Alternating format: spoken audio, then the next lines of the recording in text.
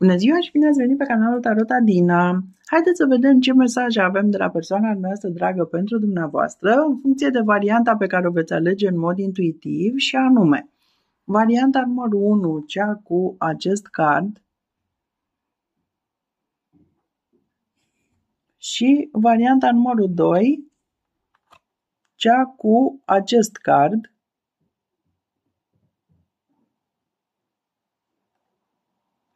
Dacă nu ați avut timp suficient de gândire, vă rog să puneți pauză pe videoclip, să reveniți după ce ați decis ce variantă ați dori să alegeți.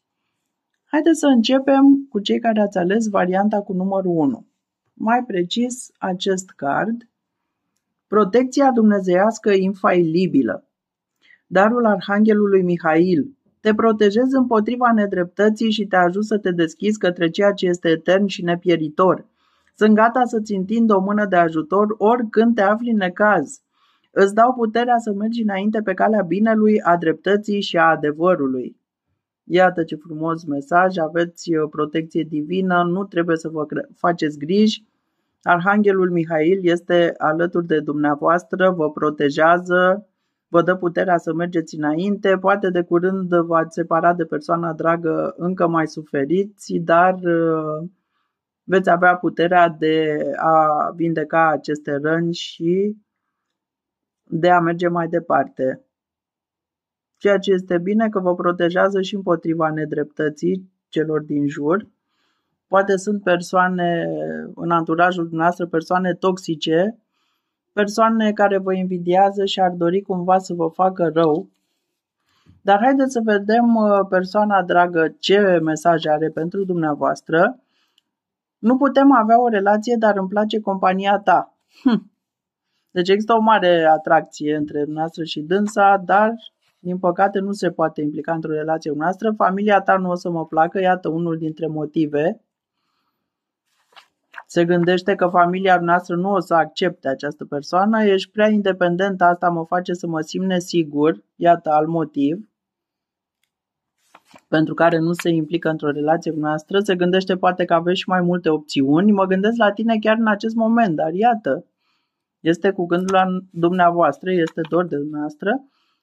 Nu vreau să ne căsătorim, da, este clar și din restul mesajelor ne-am dat seama de acest lucru.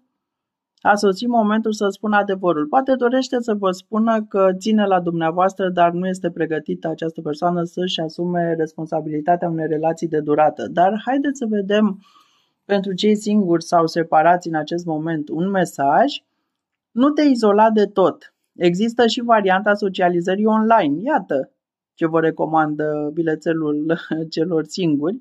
Îți va prinde bine un flirt nevinovat Interesant mesajul, deci uh, pentru a nu vă mai simți singuri sau poate pentru a vă abate gândurile uh, neplăcute pe care le aveți uh, momentan, gândurile negative pe care vi le-a declanșat această relație cu o persoană nepotrivită, o persoană toxică, poate ar fi bine să încercați să intrați pe un site de socializare și să comunicați cu anumite persoane de acolo care vă par interesante. Cine știe, poate veți cunoaște chiar o persoană care uh, alături de care să fiți fericiți și uh, cu care să aveți o relație frumoasă.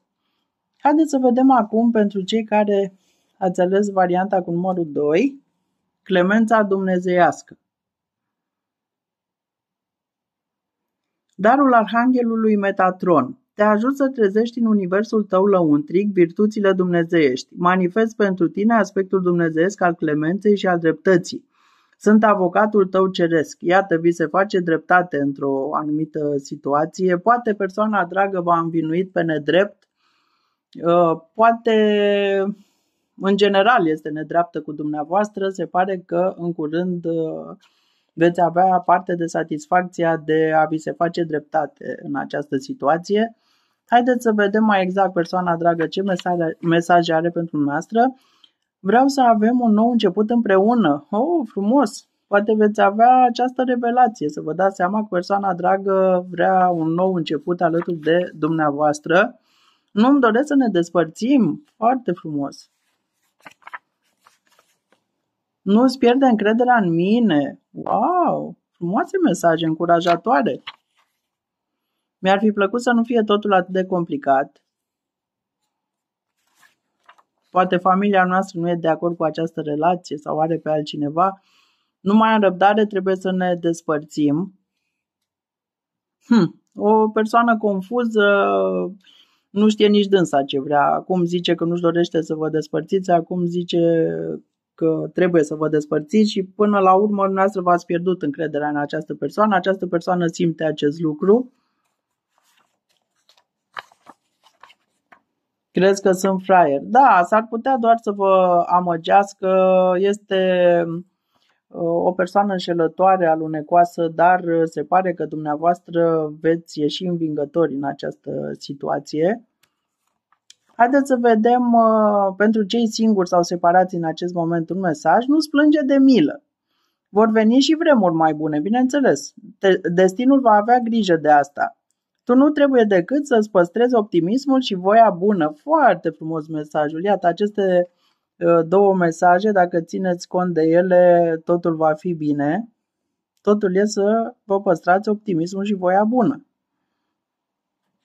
și destinul va avea grijă să fie totul uh, bine, să se aranjeze totul în favoarea dumneavoastră.